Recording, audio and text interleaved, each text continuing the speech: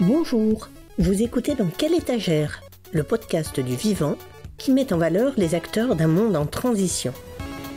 Je suis Isabelle Vauconsant, journaliste, et je vous propose une information alternative qui prend son temps, cohérente, fondée et rigoureuse, engagée et ouverte sur des solutions concrètes. Je tends mon micro pour vous parce que ça craint pour la planète. On y va? Et moi j'ai envie d'en être. Basculons. C'est le titre du livre de Tanguy Descamps que je vous invite à écouter aujourd'hui. Basculer, ça fait peur. Ça arrive lorsqu'on perd l'équilibre. Or, ça y est, l'équilibre est rompu.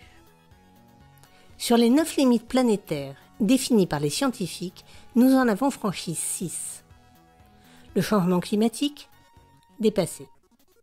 Les pertes de biodiversité Dépassé. La déplétion de la couche d'ozone Dépassé.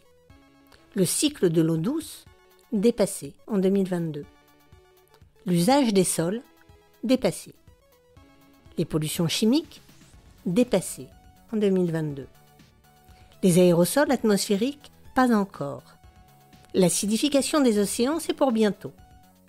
Les perturbations globales du cycle de l'azote et du phosphore à suivre. J'essaie de participer autant que possible à ce mouvement qui est collectif et qui nous dépasse. Comme dirait Jean-Marc Jancovici, la question n'est pas de savoir si le système doit changer, la question est de savoir si l'on souhaite qu'il change, avec nous, par volonté, ou sans nous, par contrainte. Traduction, ce n'est pas comme si on pouvait l'éviter, c'est simplement un fait à anticiper ou à prendre en pleine face. Parce que la rupture de l'équilibre, c'est déjà fait. Alors il y a des jeunes qui réagissent. Tanguy Descamps vient nous parler de Basculons dans un monde vivable aux éditions Actes Sud. Ce livre est sorti peu de temps avant d'être rattrapé par une autre actualité, celle de la prise de parole des étudiants d'AgroParisTech, suivis par d'autres grandes écoles lors de leur remise de diplôme. On les appelle les bifurqueurs. Ils appellent à la bascule. Bonjour Tanguy. Bonjour Isabelle. Qui es-tu? Je m'appelle Tanguy, j'ai 25 ans.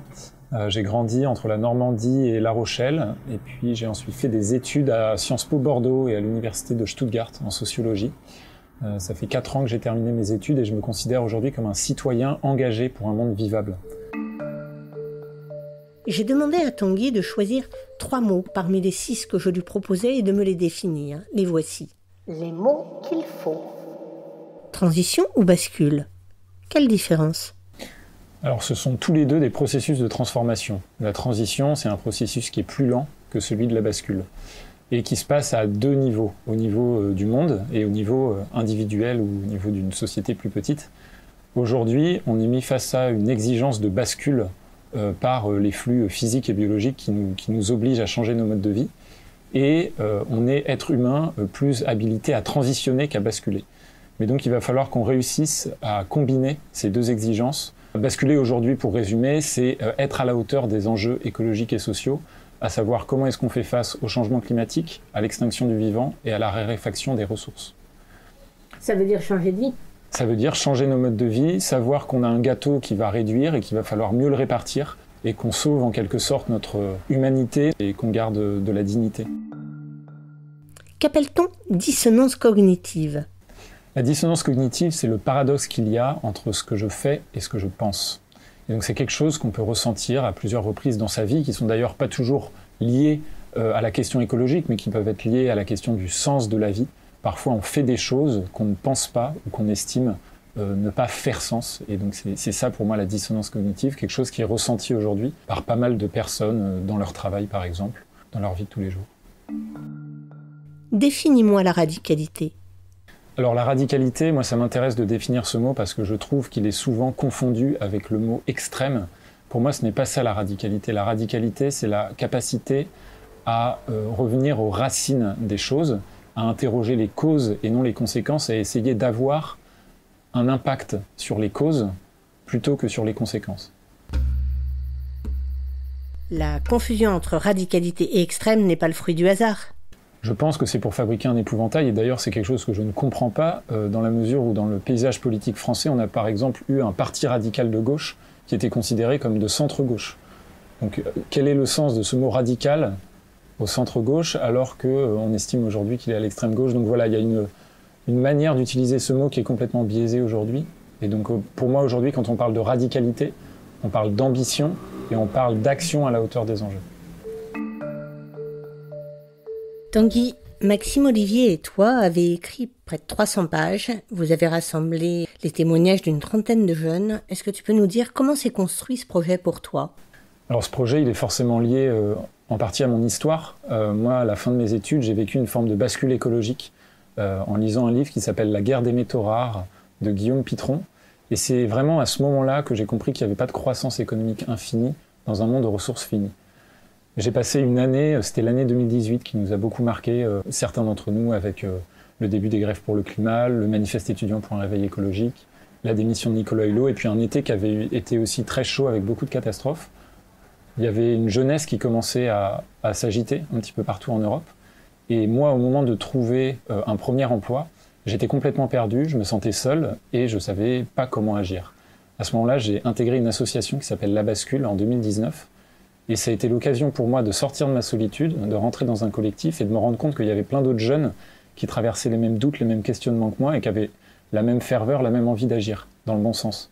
J'ai rencontré à ce moment-là Maxime Olivier et on s'est dit, en fait, il faut qu'on raconte ces histoires. Parce que nous, êtres humains, on est guidés euh, par les histoires qu'on nous raconte. Et, donc là, en fait, il faut montrer ces histoires pour euh, bah, tout simplement participer à la bataille culturelle qui préfigure souvent la bataille politique donner confiance et donner de la légitimité à d'autres jeunes et moins jeunes qui sentiraient qu'ils ne sont pas prêts à s'engager. Et puis on voulait aussi introduire un débat euh, plutôt une discussion intergénérationnelle pour ne pas euh, renforcer la fracture qu'on peut voir au niveau médiatique entre d'un côté la génération climat et de l'autre côté les boomers qui n'auraient rien compris. On voulait montrer que même s'il y a une part de vérité là-dedans, c'est bien plus complexe que ça. Aujourd'hui, nous, on représente une partie de la jeunesse et pas du tout toute la jeunesse. Et donc, on a voulu créer ce dialogue intergénérationnel pour dire que face à l'urgence de la situation, la chose la plus raisonnable, la plus stratégique et la plus joyeuse, c'était de faire les choses ensemble, à la hauteur des enjeux, plutôt que de s'opposer. Tanguy, veux-tu bien me commenter cette phrase? L'utopie a changé de camp. Est aujourd'hui utopiste celui qui croit que tout peut continuer comme avant. Qui a dit ça? C'est Pablo Servigne et Raphaël Stevens, je crois. C'est ça? Qu'est-ce que ça veut dire? bah, moi, ça me fait penser tout de suite à ce que dit euh, Bruno Latour quand il explique que euh, aujourd'hui l'objectif principal de l'économie, c'est la productivité et c'est pas le maintien des conditions d'habitabilité de la planète. Aujourd'hui, nous, ce qu'on demande, c'est que soit posé en priorité euh, le maintien des conditions d'habitabilité de la planète et pas la question de la productivité et de la profitabilité de nos activités. Et donc pour moi, c'est ça. Euh, l'utopie a changé de camp. Aujourd'hui, l'utopie, c'est de dire qu'on peut continuer à surconsommer et surproduire comme avant, en niant euh, les lois physiques et biologiques qui régissent nos modes de vie. Est-ce que nous ne serions pas face à une révolution bourgeoise? Alors on a, clairement des témoignages qui sont marqués sociologiquement, euh, avec des personnes qui viennent des classes moyennes ou des classes moyennes supérieures en majorité. C'est pas le cas de tout le monde, mais c'est la grande majorité. Il y a à peu près euh, la moitié des personnes qui ont fait école d'ingénieur ou école de commerce, une petite dizaine qui a fait Sciences Po ou des études de droit. Je pense que c'est aussi représentatif d'une partie de la génération climat, des personnes qui ont fait les grèves pour le climat. Et en fait, c'est des personnes qui euh, ont des privilèges et se rendent compte qu'ils ont ces privilèges et se sentent responsables d'agir. Aujourd'hui, on sait euh, que ce sont les personnes les plus riches, les plus aisées, qui contribuent le plus à avoir un impact négatif écologiquement. Et donc, à travers ce livre, on veut aussi montrer que une partie de ces élites annoncées, entre guillemets, euh, décident de bifurquer, de basculer, de remettre en cause euh, le parcours euh, auquel elles, étaient, elles étaient destinées. Comment faire pour séduire les autres, les amener à la conscience? Alors en fait, aujourd'hui, moi j'estime qu'il y a une bonne partie de la jeunesse qui est précaire, qui a un impact écologique faible, et qui est en fait écologiste sans le dire. En fait, il y a des personnes qui ont basculé depuis longtemps dans la précarité. Nous, on vit une forme de bascule confortable aujourd'hui. On a la chance souvent d'être accompagné, d'avoir un background peut-être culturel et financier au cas où ça marche pas pour nous. Et en fait, c'est nous qui, avons la responsabilité aujourd'hui de pas euh, aller prendre euh, les postes de cadre dans des grandes entreprises polluantes ou qui avons la responsabilité de faire évoluer drastiquement ces entreprises de l'intérieur, parce que c'est nous qui sommes destinés à avoir ces postes-là. Et, euh, et, donc en fait, on a vraiment une responsabilité qui est plus forte. Et, et notre vision de l'écologie, c'est euh, la responsabilité pour nous et le maintien des besoins essentiels pour toute la population, ce qui est loin d'être le cas aujourd'hui. Donc on, on allie écologie et justice sociale. Cette précarité n'est pas choisie. Mais peut-on imaginer de construire une réflexion politique qui la fasse évoluer vers une position déterminée et en conscience? L'écologie nous offre euh, cette opportunité de nous rassembler sur l'essentiel. Pouvoir manger à sa faim et de manière saine, pouvoir boire, pouvoir se loger, se déplacer un minimum, avoir accès à un peu de culture et puis avoir accès aussi à un minimum de convivialité. Ça, c'est quelque chose qui n'est pas acquis en France pour tout le monde. Il y a 8 à 9 millions de personnes qui, euh, qui sont à l'aide alimentaire aujourd'hui en France. Donc voilà, le projet écologiste, il n'est pas mis en place encore et, je pense qu'il y a des forces politiques aujourd'hui qui sont à même euh, d'aller chercher ces personnes euh, en leur parlant de besoins essentiels parce que c'est ça le projet écologiste. C'est un projet de respect du vivant mais aussi du respect de la dignité humaine.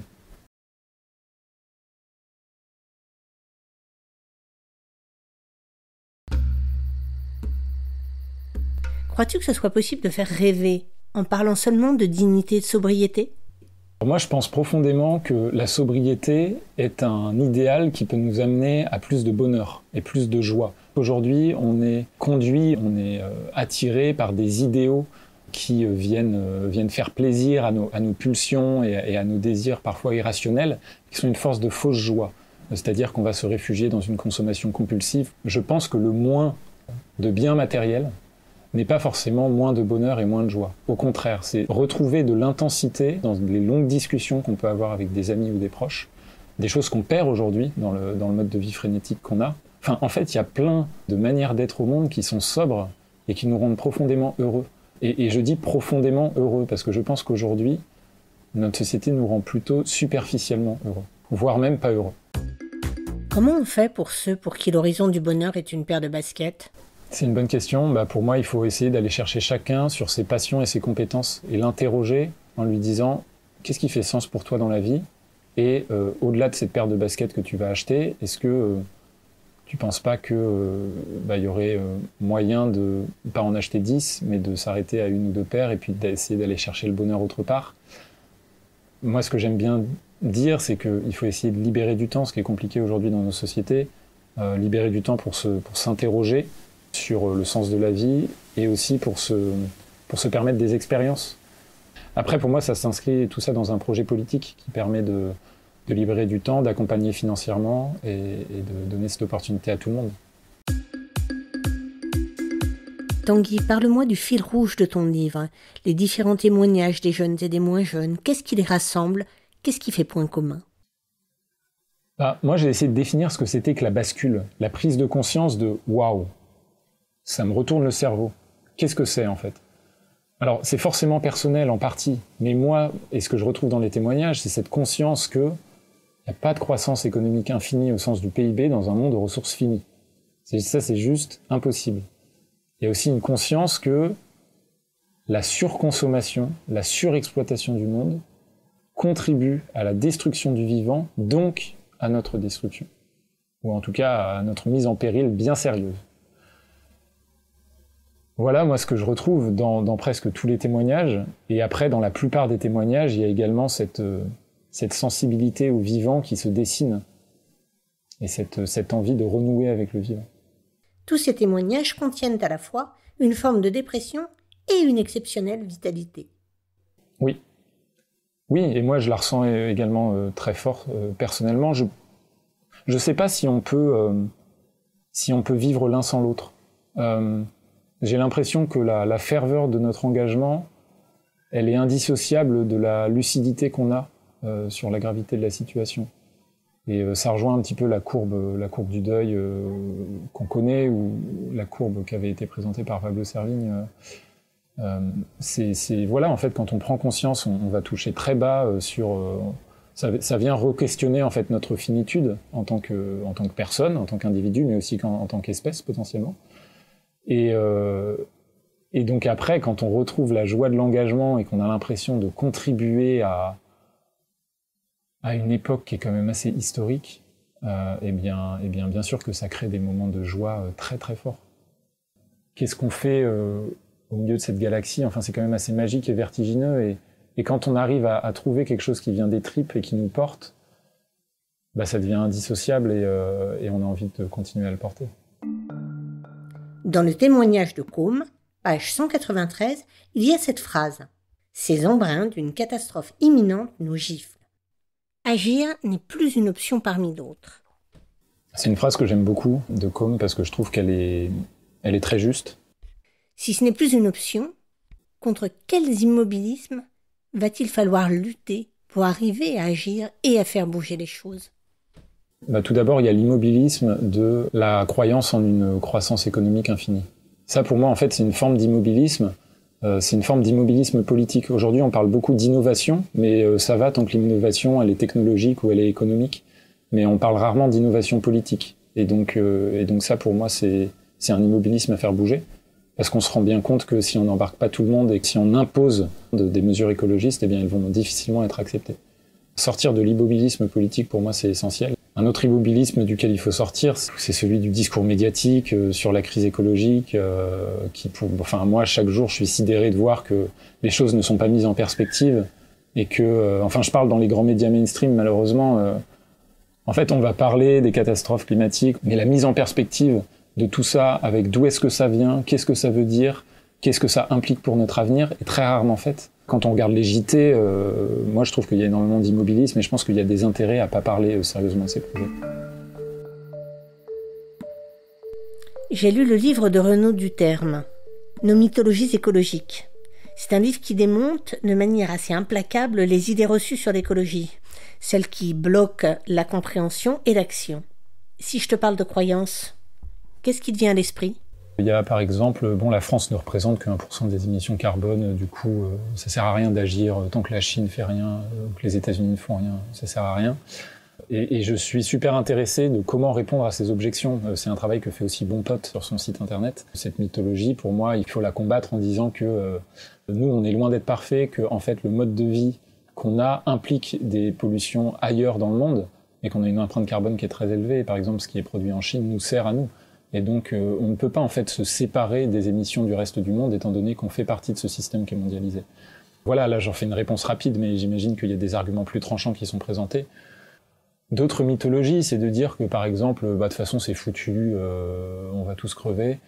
Au sujet du tout est foutu, les boomers rétorquent que foutu pour foutu, autant profiter, ou bien que c'est pas leur voiture qui fera la différence en face de Total ou de l'usine X le pire n'est jamais sûr. Ça, je pense que c'est vraiment quelque chose dont il faut sortir. Il faut avoir une grosse lucidité sur la gravité du constat. On est, clairement euh, pas, dans un bon état et pas sur une bonne dynamique.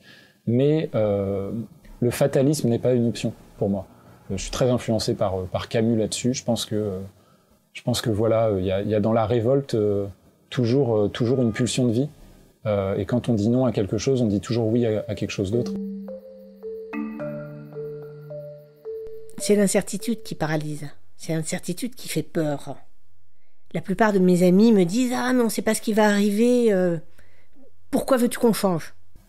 Ouais, et on sait très bien ce qui advient aujourd'hui. Et on sait très bien que ce qui advient aujourd'hui, c'est loin d'être, euh, c'est loin d'être parfait, que euh, bah, en fait, l'idéal de confort dans lequel baignent quelques-uns, il va pas durer très longtemps, et puis ça va faire mal à tout le monde que de, que de redescendre. Donc, moi, je suis très influencé par euh, ce que peuvent dire euh, des personnes comme Gaël Giraud, comme Jean-Marc Jancovici, comme Delphine Bateau, euh, qui disent la sobriété, mieux vaut la préparer que la subir. Et aujourd'hui, on a quand même des indicateurs scientifiques très fiables qui nous disent que on arrive sur ce plateau au niveau des flux d'énergie et de matière et qu'on va amorcer une forme de processus de sobriété, pour pas dire décroissance, qui est un mot qui fait, qui fait parfois peur, mais on, est en train d'arriver vers une forme de, décroissance énergétique et matérielle, et il faut qu'on prépare ça. Donc, euh, on sait déjà, euh, au niveau des ressources, euh, qu'on va arriver dans cette situation.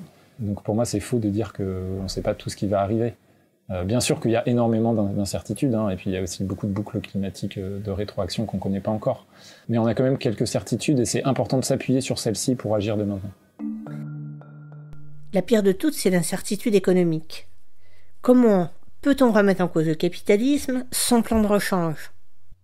Qu'est-ce qu'on va mettre à la place? On va mettre des modèles qui vont être plus résilients, ça veut dire qu'ils vont être plus collectifs, ça veut dire qu'ils vont encourager la mutualisation des ressources et des services.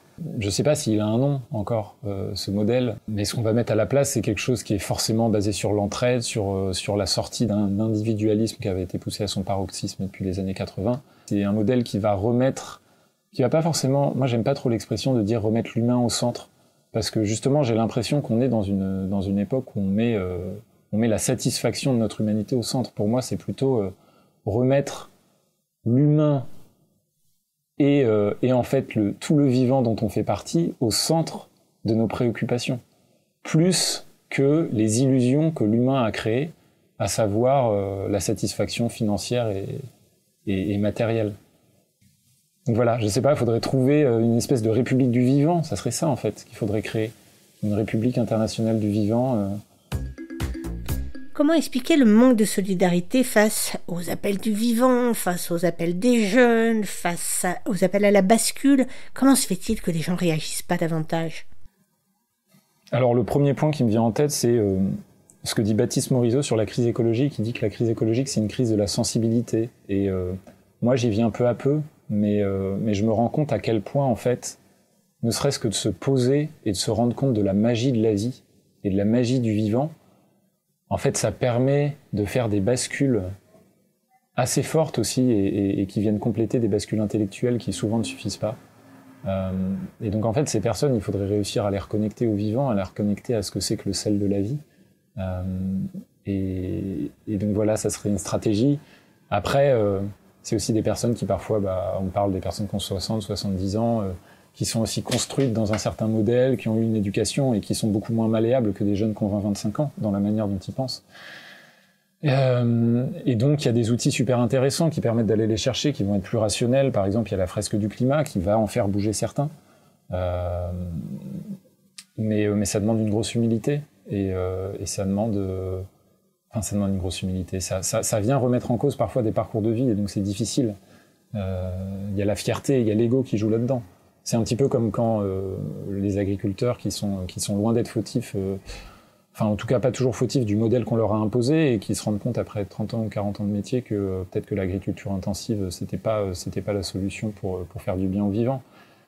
c'est difficile d'accepter ça et de se dire qu'on va changer. Donc voilà, moi j'essaye de, graviter sur cette ligne de crête entre exigence vis-à-vis de cette génération qui parfois veut, veut pas comprendre euh, et, compréhension de la difficulté euh, psychologique que ça peut être de, remettre en cause euh, une bonne partie de sa vie.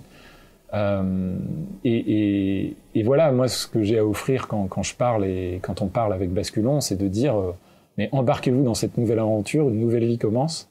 Et, à 60 ans, 70 ans, on peut, on peut contribuer à un super projet de société pour ses enfants et ses petits-enfants. Basculon est sous-titré Cahier militant. Qu'est-ce que vous entendez par là? Eh bien, ça veut dire que en fait, euh, on est tous appelés, au fond de nous-mêmes, à, s'engager. Militer paraîtra euh, un mot peut-être un peu fort pour certains, mais on est tous appelés à s'engager. Euh, on a ça au fond de nous. C'est Hélène à un moment qui écrit ça dans le livre, qu'elle dit Je savais pas que s'engager c'était fait pour moi, mais en fait, en fait, si. Et, et cette force vive, on l'a tous. Et aujourd'hui, moi, ce que j'appelle, ce que je nous appelle tous à faire, c'est euh, c'est à s'engager euh, ensemble dans des projets collectifs qui sont à la hauteur des enjeux. Euh, essayer d'aller le plus possible au grand air et libérer du temps. En fait, et voilà, ça me paraît super important de faire les choses en collectif. On trouve énormément de joie à travers ça. S'engager, c'est super. Est-ce qu'on peut le faire de n'importe où? Est-ce qu'il y a des prérequis? Aujourd'hui, je pense qu'on est tous appelés à agir là où on se trouve pour faire pression, non seulement en tant qu'individu, mais en tant que citoyen. On est des citoyens, on a euh, une responsabilité à agir pour plus grand que nous. Et donc quand on est en entreprise, on peut essayer de monter des collectifs pour euh, essayer de faire bifurquer l'entreprise, ou on peut décider de déserter l'entreprise si on estime que c'est impossible de la changer de l'intérieur. On peut faire évoluer les administrations et faire euh, bouger ce mammouth qu'est l'État, parce que parce qu'il y a aussi beaucoup de choses qui s'y passent. voilà, chacun, là où il se trouve, peut faire évoluer les choses, surtout en montant des projets collectifs. Et, euh, l'espace économique dans lequel euh, ça se passe, pour moi, c'est quelque chose qui est construit ensemble et qui est indissociable de la politique. Euh, par exemple, pour garantir euh, une sécurité alimentaire pour tous, eh bien, on pourrait mettre une sécurité sociale de l'alimentation en place. au niveau des transports, eh bien, il faut encourager la multimodalité des transports et la sobriété. Et voilà, en fait, il y a plein d'initiatives aujourd'hui sur lesquelles il faut s'appuyer pour mettre en place un, un modèle qui soit viable économiquement. En fait, même s'il est plus viable économiquement dans le système qu'on connaît aujourd'hui sera viable physiquement et biologiquement dans le monde qui advient.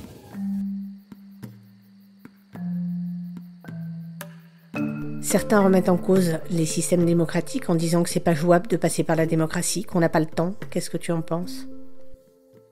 La bascule non démocratique est pire que la bascule démocratique. Malheureusement, un début de bascule démocratique n'a pas été mis en place en France alors que ça aurait pu être possible avec la Convention citoyenne pour le climat. Euh, qui a présenté un programme euh, écologiste et juste pour faire face aux enjeux climatiques euh, qui n'a pas du tout été mis en place par le gouvernement et qui a même été complètement ignoré.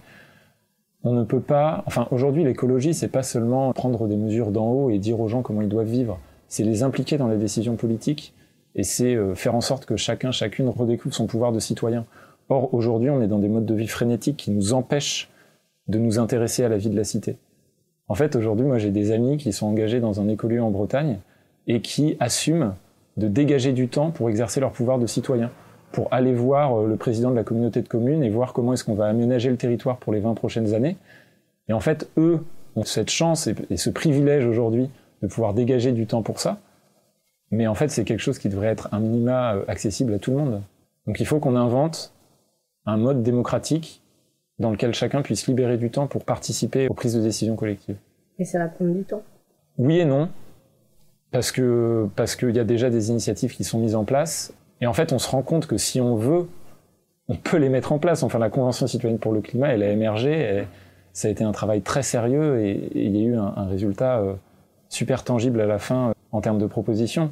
Malheureusement pas en termes d'action. Et donc, euh, en fait, le verrou à débloquer, il est là. Il est au niveau de, de la volonté politique et de la capacité aussi à aller contre l'administration, contre contre des intérêts parfois euh, voilà bien gardés dans les corps d'État euh, et, au sein des, lobbies privés aussi qui nous empêchent d'avancer. Donc il va falloir se battre, hein, c'est clair. C'est-à-dire que la Convention citoyenne pour le climat, euh, si on veut que si on veut que ce genre de mesures soient mises en place, il suffira pas que ça soit voté pour que ça soit appliqué. On sait bien que derrière, il faut que ça soit appliqué dans la pratique. Les entreprises et les administrations se plient à ce qui a été décidé. Et donc ça implique un suivi, ça implique une forme de planification. On parle beaucoup de planification écologique aujourd'hui. Moi, je trouve que c'est une partie de la solution.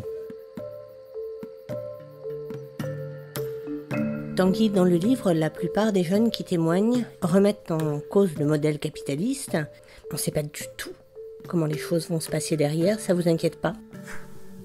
Moi, c'est pour être honnête, je vais dire quand je sais pas je vais dire quand je sais pas, et là, euh, euh, c'est une partie du sujet sur lequel j'ai des doutes et je me pose des questions. Euh, Aujourd'hui, si la France ou l'Europe euh, rentre en décroissance de, ou en, modèle de sobriété par choix, qu'est-ce qui se passe par rapport aux autres puissances? Est-ce qu'on va pas se faire manger euh, économiquement, euh, au niveau des ressources, au niveau militaire, etc. Moi, je pense quand même que il y a un moment où s'inscrire dans les limites planétaires deviendra plus raisonnable pour assurer euh, notre, notre survie et, une vie bonne que de continuer dans une espèce de croissance technologique. Moi, ça me fait penser à ce que dit, euh, je crois c'est Vincent Mignereau qui parle de ça. Il dit qu'il faut euh, qu'il faut qu'on soit sur des croissances, des croissances et des décroissances sélectives. C'est-à-dire qu'il y a peut-être des secteurs stratégiques sur lesquels il faut choisir de continuer à croître et d'autres sur lesquels on décroît, en essayant de faire en sorte qu'en volume, le tout décroisse, il y a des secteurs stratégiques sur lesquels il ne faut pas lâcher ou en tout cas il faut faire attention. Est-ce que tu crois que le droit a un rôle important à jouer dans ce processus? Moi, je vais m'appuyer sur la parole d'une personne qu'on interviewe dans le livre qui s'appelle Marine Calmet, qui a créé l'association Wild Legal, et elle se bat depuis plusieurs années pour la reconnaissance du crime d'écocide. Elle a d'ailleurs travaillé auprès de la Convention citoyenne pour le climat à ce sujet. C'est un outil parmi tant d'autres à utiliser. Et moi, je soutiens totalement euh, les personnes qui font ça. C'est important qu'on reste euh, le plus possible aussi dans un état de droit euh, face à tout ce qui arrive. Et donc, introduire les limites planétaires dans notre droit me paraît essentiel.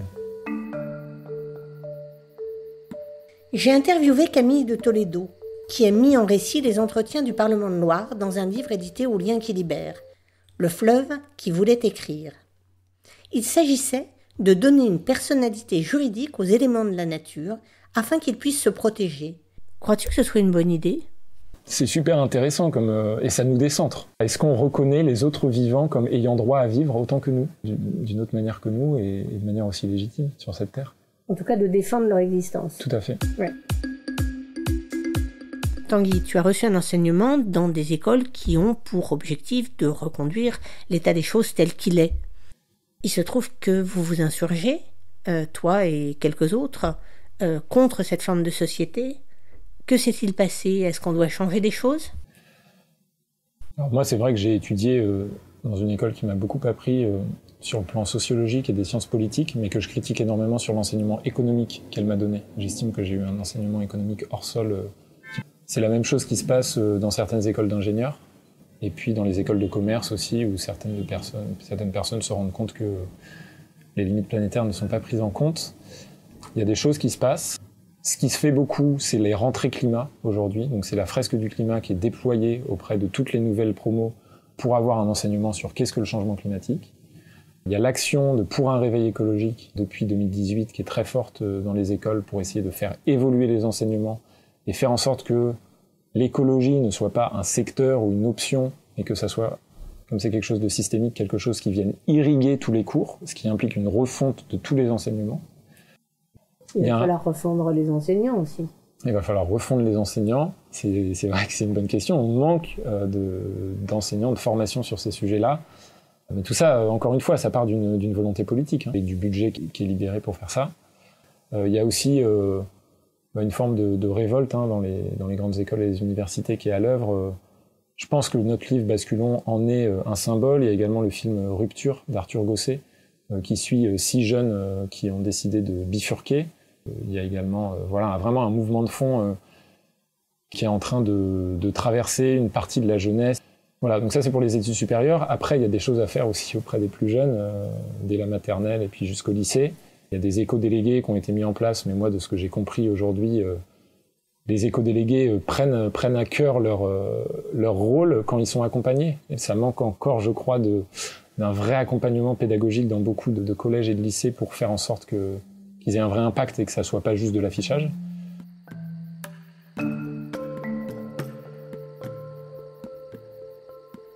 Et les enfants? Est-ce qu'il faut pérenniser l'espèce humaine en ayant des enfants? C'est une question dont on parle assez souvent euh, entre nous et euh, différentes réponses. Euh, moi, c'est une question qui m'anime. Moi, je pense que quand même, on est dans une démarche de vie.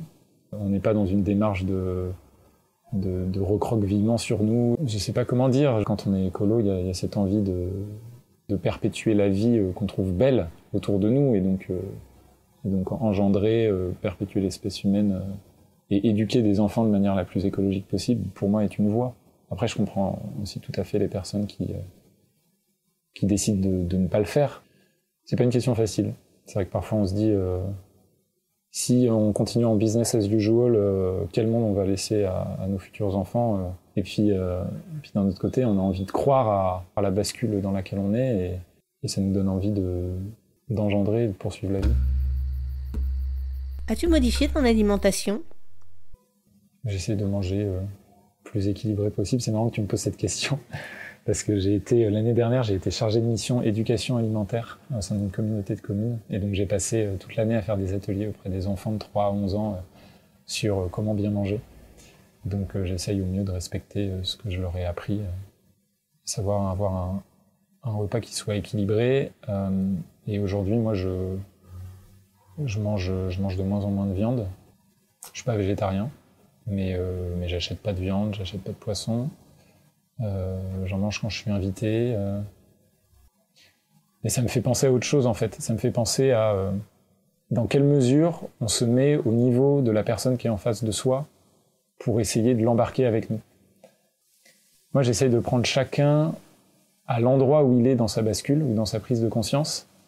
Et donc, je sais que parfois, si je m'affiche trop radical avec certaines personnes, ça va les braquer plus qu'autre chose. C'est vrai que voilà, c'est l'analyse que je fais, mais qui est sûrement qu'on peut sûrement remettre en question. Mais je me dis bon bah si je suis invité chez quelqu'un et qu'il y a une pièce de viande qui m'est proposée, est-ce que je dis non et c'est un non catégorique et du coup ça va les ça va les brusquer et ça va les faire bouger?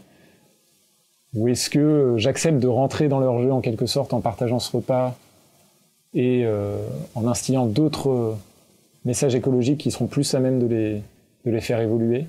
Enfin, voilà, en, gros, c'est marrant de parler de ça parce que ça montre à quel point euh, l'alimentation euh, est au centre de nos vies et de nos choix de vie et permet d'engager de, des discussions. De quoi vis-tu en ce moment? Aujourd'hui, je vis d'un peu d'épargne, du chômage que je touche, parce que j'ai travaillé dix mois auparavant, et euh, du début de mon activité euh, en tant qu'auto-entrepreneur. En éducation à l'écologie au sens large, ça veut dire que j'anime des fresques du climat, je peux animer des ateliers en intelligence collective pour faire émerger des projets, euh, écolo notamment, et, et j'aimerais bien travailler sur, sur une forme de conférence sur la bascule écologique. Je vis de pas beaucoup, et il y a un gros enjeu aujourd'hui à accompagner les métiers de la transition, parce qu'on se rend compte que on rentre pas toujours dans ce modèle de profitabilité euh, financière. Enfin, moi, à chaque fois, je retombe sur l'impulsion politique. J'ai vraiment l'impression que s'il y a une garantie à l'emploi vert, s'il y a un revenu de transition écologique, des mesures de ce type qui sont mises en place, et eh ben en fait, ça va permettre à beaucoup plus de gens de, s'engager que ce n'est le cas aujourd'hui. Et surtout, ça permettra à tout le monde de s'engager et pas seulement aux, plus privilégiés dont je fais partie.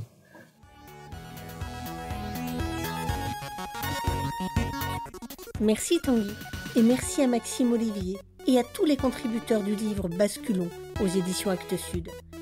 Merci à tous ceux pour qui la planète, sa biodiversité, mais aussi sa diversité sont source de réflexion et d'action. Vous venez d'écouter Dans quelle étagère le podcast du vivant. Vous êtes sur Terra Focus, la chaîne d'Ortus Focus, le Mac de la biodiversité. Jardins, transition, patrimoine. Vous souhaitez vous tenir au courant de nos nouveaux épisodes? Abonnez-vous à Brin d'Info, notre newsletter, sur ortus-focus.fr.